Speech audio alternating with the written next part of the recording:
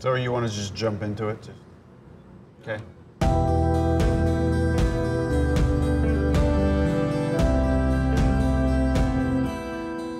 Hermen, we're here. We're here. You've shipped your game that you've worked on for how many years now? I think it's actually been more than six years. More have than you, six years. Have you ever worked on a game that long? I have never worked on anything that long. I highly recommend it. Take your time, ample time. Um, all right, my first question I have is you guys have, okay, you've done Horizon now for six years. How many years have you worked on Killzone as a team? So we started working on Killzone in 2000, Okay. and we shipped at the launch of PlayStation 4, right? So that's 13, 14 years, something like that. Wow. Okay, so that's a long time to be in one franchise that you know in and out, you live in it. What's the first, when did the first conversation happen where you're like, you know what, what if we didn't make another Killzone? We started in 2010 um, with putting a brief together to the entire team, and I don't know if you guys would ever do such a thing at Naughty Dog, uh, but that's kind of our studio culture to reach out and kind of harvest all the creativity. There were hardly any guidelines, so we, we wanted to do something new. Uh, we actually did not exclude the possibility of another kind of game in the Killzone universe. That was also fine. Uh, I might have said maybe not puzzle games or racing games, but other than that, anything goes. And then we reached out, and I believe 45 guys pitched, guys and girls pitched from the team. Wow. Uh, and that was back in, I believe it was the um, uh, November, December 2010. What did those pitches look like? Oh, They were all over the place. You know, they were, they went from uh, obviously a lot of shooters, uh, Is it like a There was- PowerPoint presentation? Is it animation? Is it a prototype? Very different. I mean, it, it really depends. So the artists have a big advantage, right? Mm-hmm. Particularly the guys that can make beautiful images, Sure. that, that kind of sells easily. But the programmers and some people just pitched an idea that was not a full game, but just a mechanic, or you know how to approach AI in the next mm. game. So it's kind of from large, very big ideas to very small but very focused kind of ideas, and a lot of shooting stuff, some very different stuff. It'd be actually fun to dig them up and to do a presentation of. Do you remember one that's just crazy one that Well, we actually took two of them forward, and one was this uh, this kind of steampunk idea that remarkably is remarkably similar to the uh, the order that shipped in its style. So very similar in many ways. The setting of it, the some of the ideas for the gameplay of it as well. We took that and we actually transformed that a little bit more into a super a superhero kind of thing. It was closer to home for us uh, in terms of the, the, the core systems being uh, more in line with the linear experience. Uh, and the other one was Horizon Zero Dawn. Okay, so tell me, you're seeing, you said 40 something pitches. How do you, which members are there watching this? How do you decide as a, as a group, okay, we're going to go down this direction? I think I assembled a little board with um, uh, Michiel van der Leeuw, our technical director, JB van Beek, our art director, Angie Smets, our exec producer, Matthijs de Jong, our game director, and a few others. Uh, it's- so that was the group that people pitched to. And then we had a discussion about it, because my, uh, in my world, a dialogue about stuff is always better than like a scoring chart of how great it is. Because I just want to feel how it, um, feel out how enthusiastic people are. And um, that, that usually works well. Uh, but it was not easy. I mean, it was not, not something to, we all knew what we wanted to do, but that made no sense for us. So you make, you've made, uh, and maybe you'll make them again in the future, more linear shooter in this grim reality, and then now you're going to this lush, overgrown, tribal hunting, open world. Yeah. How scared are you? very, very scared. and it was, um, it actually was a big part of the decision that we wanted to make something that's just beautiful. With, um, with Killzone, there's, there's beauty in it to me, right? It's, it's grim, but we kind of call it gritty beauty, uh, the studio always. And that was a, a big part of our decision. We, we wanted to put the player into a world where you, you don't want to evacuate away from it, you don't want to escape, run away.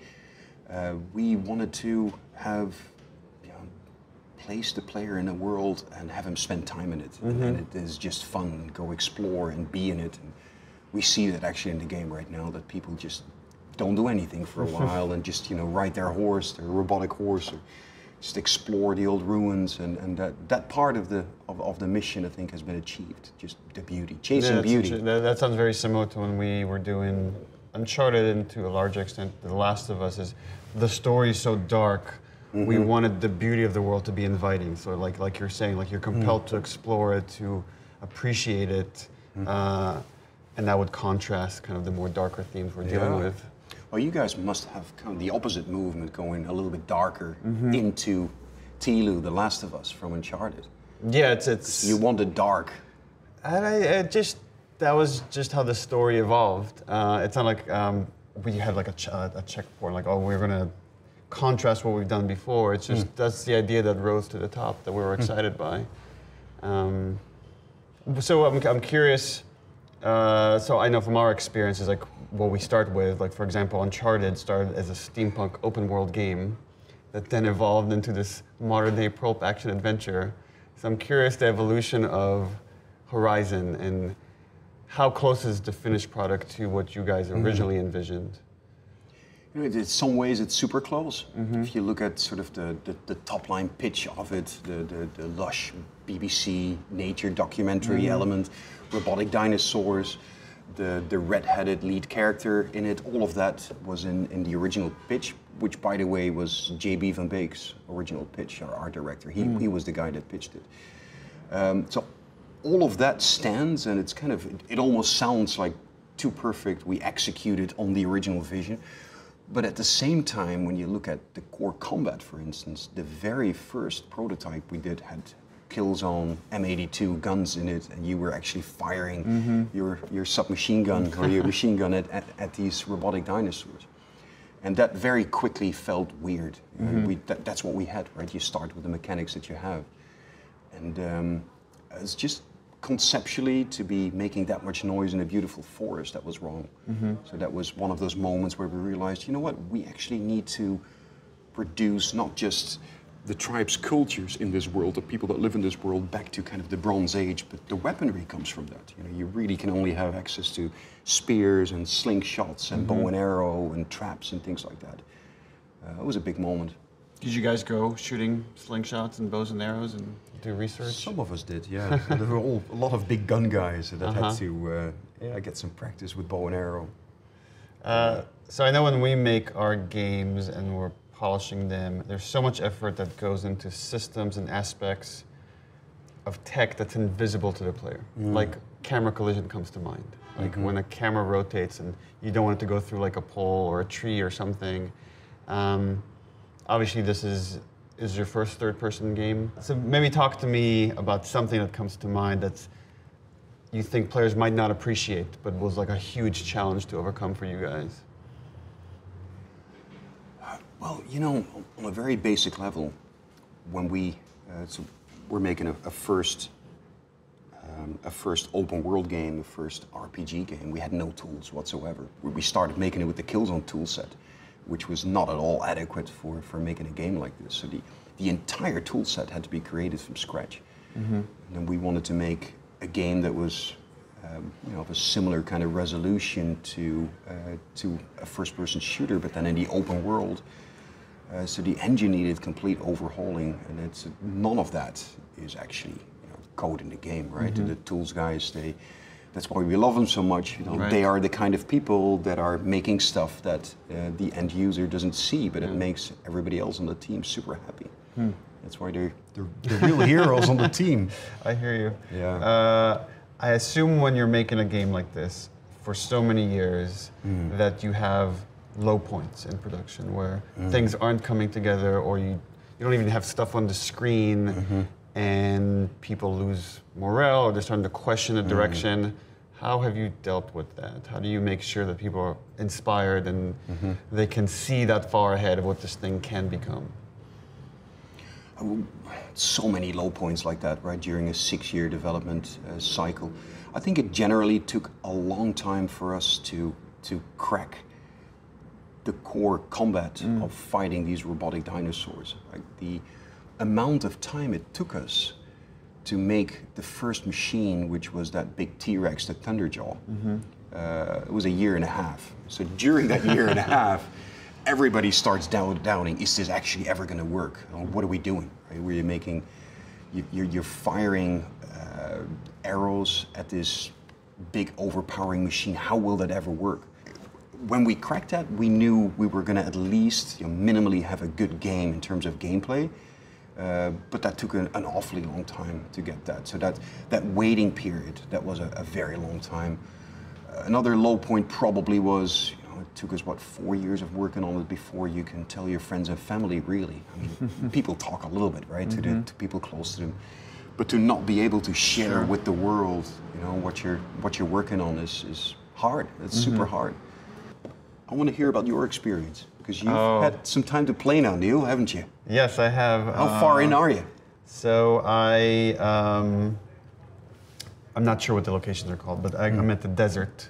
Yeah. So it's the first time I see like a, one of those flying dinosaurs, crocodile dinosaurs. Uh, I think you are in uh, Main Quest 7, probably, something okay. like that. Yeah. I think I'm level 19 or 20. Well, that's pretty good. Yeah. Uh, and it's pretty cool that I'm doing things in a different order than someone else that's playing the game Yeah. is doing it. Uh, so that kind of sticks to mind. And then uh, the other thing that like the graphics are staggering. Uh, I don't even think of it as graphics. It's like I'm in the woods. I'm in this overgrown environment, and I'm like, how are they getting so much foliage, such density in an open world game? Uh, you better believe I'm going to my team and saying like, okay, this is the bar now. I want more to top- foliage. we have to top this. Um, it's Friend- awesome. Friendly competition Yeah, with the yeah, Worldwide yeah. Studios. And you know, we we we talk about stuff. We compare notes all the time Yeah, about tools and design. Um, yeah, it's, uh, like we're all super excited for you guys. Like you know, we know how hard you've worked on this game. That's that's so great to hear. Uh, and then like the other thing is like uh, how much I'm, I like Aloy and how cool of a character she is.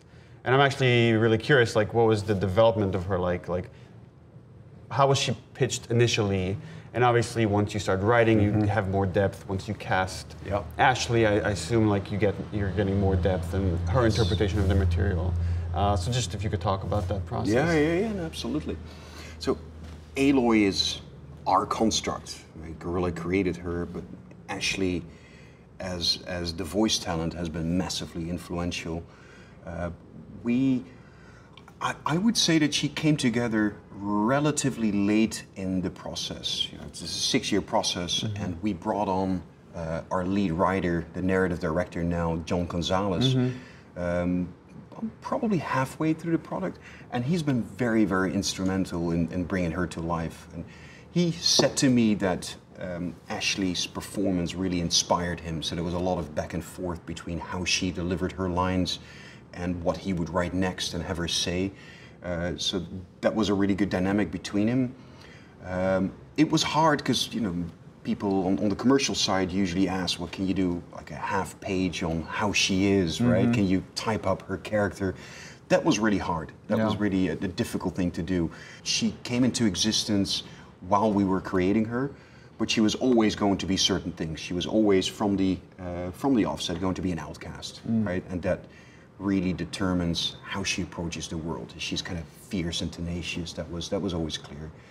Uh, but I think while we developed her and after uh, John gave her the main arc and uh, and a lot of the dialogue, she became kind of a, a person with a lot of irony, a good sense of humor, a very amicable kind of person with a big heart. Even people that are mean to her, she kind of embraces that. So she's kind of bigger and maybe not necessarily what you would expect from from an outcast, but that just works for me very well in the game.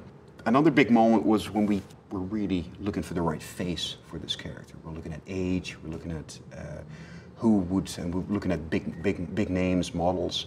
Uh, and then one of our producers was watching a Dutch movie. He was out ill, and generally don't watch Dutch movies. There's not much for you to gain or learn. Uh, but he was super happy, and he said, "This girl, Hannah Hoekstra, and she's actually a really very talented actress. She had that." That cheeky, kind of fierce, funny um, uh, attitude uh, when we met her, and she was perfect. So she's the likeness. She gave her likeness to to the character. Um, and then because she as a character, she's outgunned and, and outpowered by those massive machines. We needed her to be very agile. Uh, so the, the, the performance, uh, the motion capture stuff, we used uh, parkour actors uh, for that. Uh, so Aloy is actually based on three different people, right? The face and then the voice, which is a massive part, uh, and then the, the motion capture performance. Uh, I'm curious. I don't know if you guys set out to make the next iconic PlayStation character, Ah. uh, but I think it's super awesome that you know there is a strong, I would say, non-objectified female character out there, and I know that you've been kind of tweeting like. Um, girls and women cosplaying as her like d- does the team feel that effect that like you're having this positive impact on the gaming community and Yeah, yeah. Pushing that diversity? I wouldn't say we set it out as a goal during this project, but it's. Uh, John Gonzalez mentioned it to me. He said this this was an epic journey, and with all epic journeys, that leaves you changed as a as a, as a person that contributed. And I believe that this has really struck a chord with the team. That uh, diversity actually works for us. It's not something we're trying to push but it's something that just we found to be we experience it to be very invigorating. People really really like it the fact that there's not just a female lead but there's so many different ethnicities and different kind of backgrounds in the um, in, in the in the world that we created. We have a probably like you guys as well you know 30 35 different nationalities Yeah. and people from all walks of life. It's really nice to see people represented even though that wasn't the primary goal. Um, and it's um, we get a lot of questions about uh, from in some countries more so than from other countries.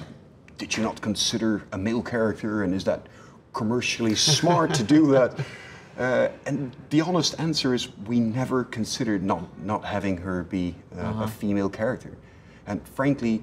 We didn't really set out for her to be a strong female lead because oftentimes lead female leads need to be strong female leads. No, you- Aloy gets beaten sometimes. Right. Like she's she's fierce and strong in the sense that she'll fight back, but you know she'll find her match sometimes, and uh, so she can't always. like, we wanted her to be fundamentally human, Yeah. and, and fundamentally human people can be really strong, but they're sometimes weak Yeah. as well.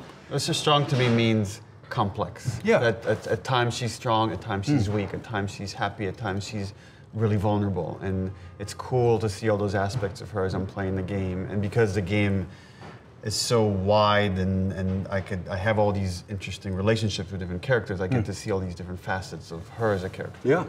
And, and that is actually embracing that complexity because these days somehow everything needs to be a one-liner or a simple kind of write-up. No, these characters are they are many different things. She happens to be female, but her her gender doesn't completely define her. Maybe partially, but that's only part of her. The fact that she's an outcast is just as important. Uh, but it's an interesting notion, and I'm, I'm curious to hear your opinion about it. Because relatability, if that's an English word, is actually really important, right? When you make a character, to me, there was a, a big difference between being, being able to identify with a person that's very different as you, might be more difficult, but that doesn't mean that you cannot relate to a person like that. So to have those moments in there, for instance, in, and, and you've played that sequence when there's uh, a little boy that's really mean, and to give you those emotional choices. I tried throwing the rock right at his face. Right? Yeah. Right. at his I, I never doubted that. Good on you, man. Good on you. Uh, and, and, and, but that makes you express how you relate to a character like that. Mm-hmm. And, that and that even though you are not, you're never going to be a red-headed girl. Uh, That stuff is always interesting to me, and I, I, for the most part, disagree with it. That I can't relate to someone because I'm a different race, I'm a different gender, I'm, I have different sexual orientation, Hmm. uh, and I always find weird that people say that. But I'm like, but you're okay playing a murderer. Like, Yeah. how, is, how can you How you relate to relate that, to- but not yeah. to someone that's a different gender? So to me, it's it's it's kind of nonsense, and I find that the more a person is real Hmm. and complex and human, the more I relate to them.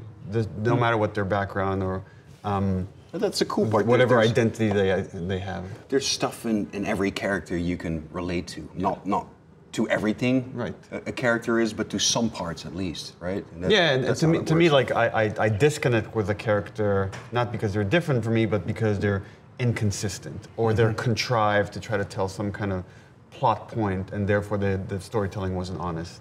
Yeah, so you got about five, six hours into the game now? No, I'm like eight hours. 15 hours into the Really? game. Yeah. So you did a lot of side content. Yeah, yeah, yeah. I, I'm, I'm like, I played a lot with like photo mode. I'm like, Yeah, I gotta I keep saw taking that. pictures. Uh, So, are you directing the title that's coming out this year? no, so You're not. Uh, the Uncharted: The Lost Legacy, Yeah. TM. Uh, I'm not. Uh, I, I worked a little bit with that team to help set up the outline for that narrative Hmm. for the story, and then I kind of walked away and like really let them um, own it. Uh, so it's pretty cool in that.